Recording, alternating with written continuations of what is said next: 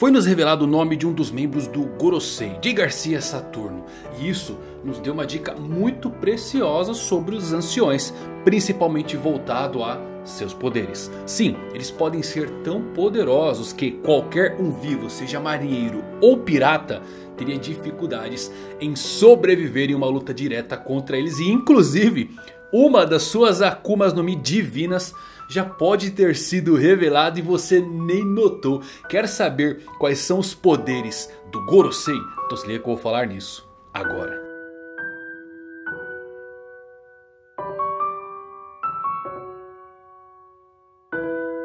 Fala galera, Evandro Fusari com mais um vídeo pra vocês, como é que vocês estão? Espero que todos vocês estejam maravilhosamente bem Hoje trazendo um vídeo muito legal Os poderes do Gorosei, sim, Akumas no Mi pra lá de poderosas, divinas Assiste até o final porque vai explodir a sua mente esse vídeo, eu tenho certeza. Se você é novo no canal, aproveita para se inscrever. Mas se você já é da pior geração, já faz o quê? Já dispara aquele like divino. E agora com vocês, tudo sobre os poderes do Gorosei.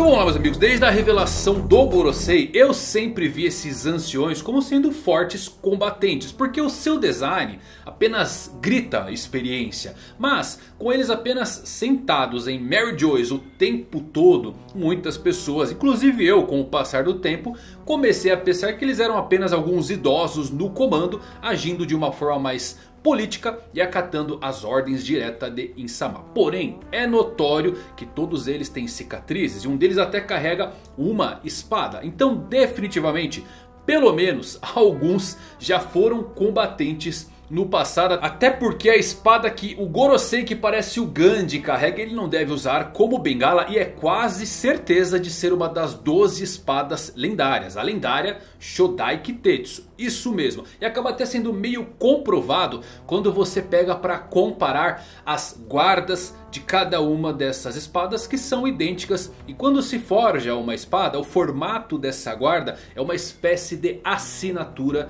do ferreiro. Então é fato que a lâmina do Gorosei é muito semelhante a Sandai Kitetsu que o Zoro tem hoje e com a Nidai Kitetsu que o Luffy utilizou em Wano. Sabemos que em animes inclusive personagens mais velhos não são meros coadjuvantes e em One Piece creio que não seja tão diferente em relação ao Gorosei. Mas então quais seriam os poderes do Gorosei caso eles tenham mesmo? Tem algumas dicas muito boas galera. Foi nos revelado o nome aí de Jay Garcia Saturno. O que se tornou digamos muito revelador. Porque o nome de um personagem ligado a um planeta não pode ser por acaso. E com isso nasce a ideia de que os outros quatro anciões deveriam ter nomes de planetas também. Gorosei se traduz como 5 estrelas anciãs, mas o kanji de estrela utilizado por Oda faz parte da palavra japonesa para planeta. Uma pegadinha na tradução, portanto faz sentido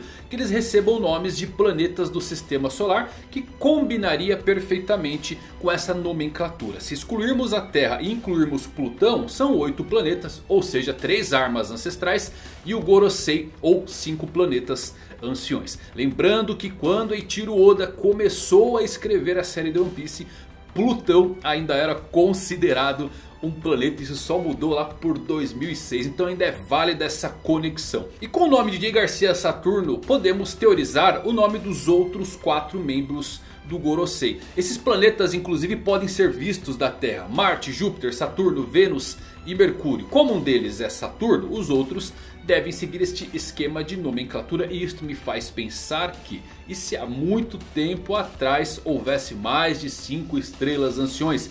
E se fossem 8. E se os três restantes tivessem os poderes de controlar uma arma ancestral, mas algo aconteceu com eles? E se os cinco planetas anciões receberam o nome de nossos planetas do sistema solar, não poderia então haver uma chance de um total de 8 armas ancestrais? Uma espécie de conclave era feito por essas lendas, esses deuses que decidiam o rumo da humanidade e do mundo. E quem sabe os antigos anciões, os outros 5 traíram o Sol, no caso Nika, e as outras três armas ancestrais quando se aliaram à nova ordem de Insama para virar o governo mundial. Mas com esses pensamentos, inclusive, quem viu meu vídeo do capítulo 1073 deve se lembrar aqui que eu trouxe até o nome de Insama, que pode acabar se encaixando nessas nomenclaturas, como sendo a referência para a Terra. Sempre falamos sobre Insama ter algo a ver com o mar, afinal ele é chamado Imu no japonês. E seu nome ao contrário é Umi que significa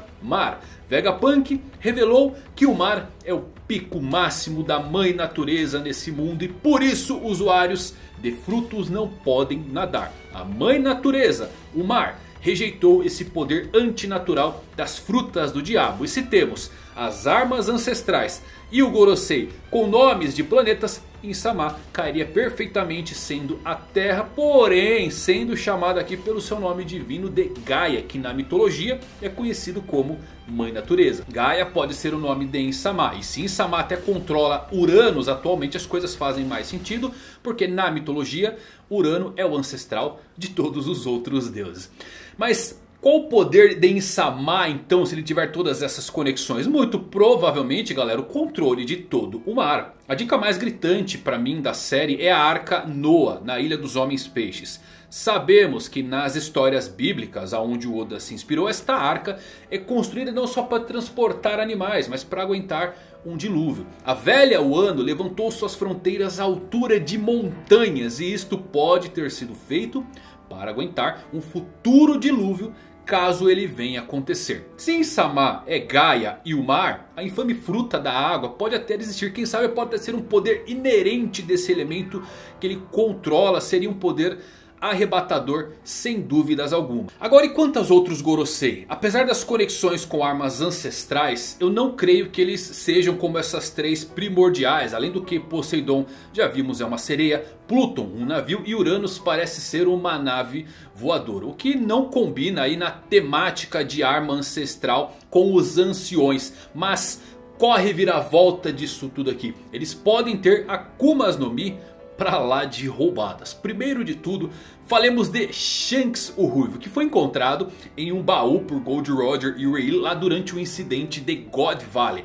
Também descobrimos uma coisa curiosa, que Shanks tem a conexão com uma família chamada Figureland. Tudo isto pelo One Piece Film Red, mas também pelo volume especial que foi feito pelo próprio autor. E aqui volta a uma ideia que eu sempre compartilho com vocês, que o Shanks Poderia sim ser filho de um nobre mundial, mas dado como o Gorosei recebeu Shanks, o Ruivo poderia ser descendente de uma casta superior de nobres. Ele poderia ser filho de um dos Gorosei que veio a morrer durante o ataque dos Rocks. E por isso ele tem toda essa aura de intimidação, seja com a marinha e com o governo mundial. O que me reforça mais isso é que entre o Gorosei atual temos esse membro que é nitidamente muito mais jovem. E que pode ter substituído a antiga família de Shanks no topo da hierarquia do governo mundial. Afinal Shanks, o herdeiro, acabou virando um pirata. Então guardem essa informação que um dos membros do Gorosei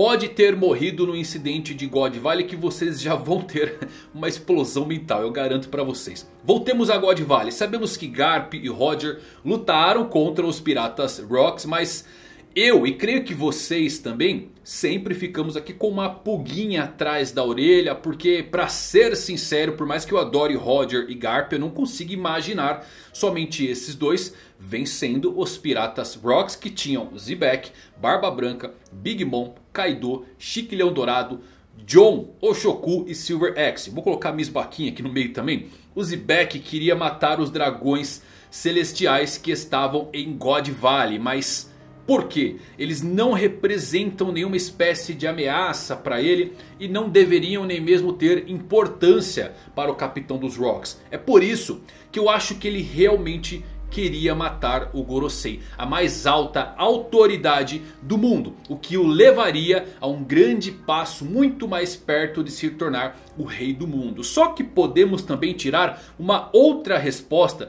de por que Rox Dizzyback atacou esses nobres lá em God Valley. E quem pode responder isso é aquele que herdou sua vontade. Barba Negra que vem caçando Akumas no Mi poderosas para completar seus objetivos. Zebek pode ter tentado fazer o mesmo e ele queria as Akumas no Mi divinas de cada um dos membros do Gorosei. Suas frutas podem ser a dos cinco deuses celestiais, que são cinco criaturas míticas que representam as direções cardeais e também os elementos. Essas criaturas míticas são as seguintes: o dragão azul do leste, o pássaro vermelho do sul, o tigre branco do oeste, a tartaruga negra do norte e o dragão amarelo do centro.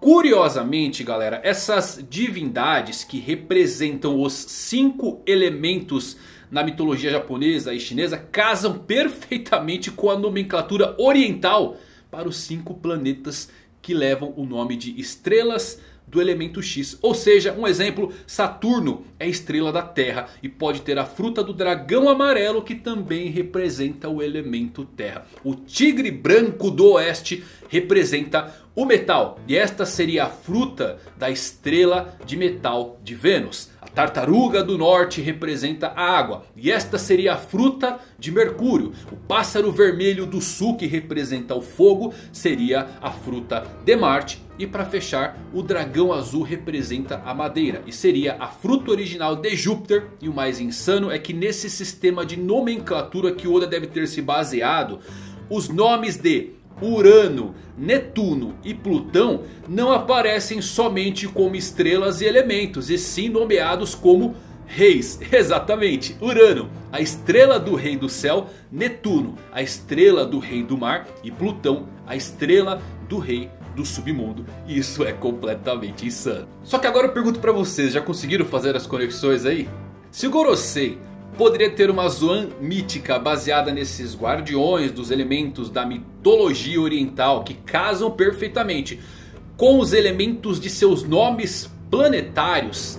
Então por que Kaido tem a fruta do dragão azul? Como poderia isso? Bom meus amigos, se lembrem, Kaido obteve o seu fruto do dragão azul de Big Mom curiosamente no incidente de God Valley. Muito possivelmente o Gorosei que tinha o fruto original do dragão azul morreu em batalha. Big Mom conseguiu pegar esse fruto antes da ilha desaparecer e deu para Kaido. E é por isso que um dos Gorosei inclusive parece ser mais jovem que os outros. Também explicaria uma outra bomba da série. Por que Vegapunk tentou replicar especificamente o fruto de Kaido.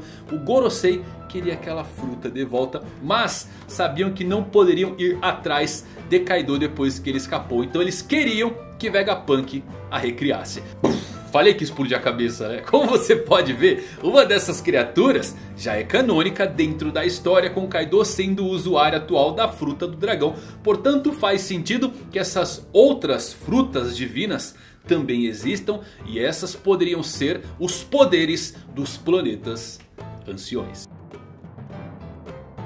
Maneiro isso, né galera? Como explica as coisas se for mesmo para esse caminho, essa conexão? Porque cada planeta nessa nomenclatura tem um elemento que casa perfeitamente com esses guardiões, os cinco guardiões. Aí você tem a fruta do dragão azul do Kaido que foi dada a Big Mom, que inclusive é uma dívida eterna, é uma fruta pra lá de poderosa, mas a dívida eterna pode ser porque a Big Mom deu pro Kaido uma fruta que pertencia a um dos Gorosei. E aí teríamos as outras quatro frutas surgindo para ser essas frutas divinas. Muito legal as conexões, né? O que, que, você acha disso? Tirou alguma teoria legal? Fez alguma conexão maneira? Compartilha aqui nos comentários. Se você gostou desse vídeo, faz o quê? Deixa um like, compartilha com seus amigos aí no grupo do Zap e até a próxima.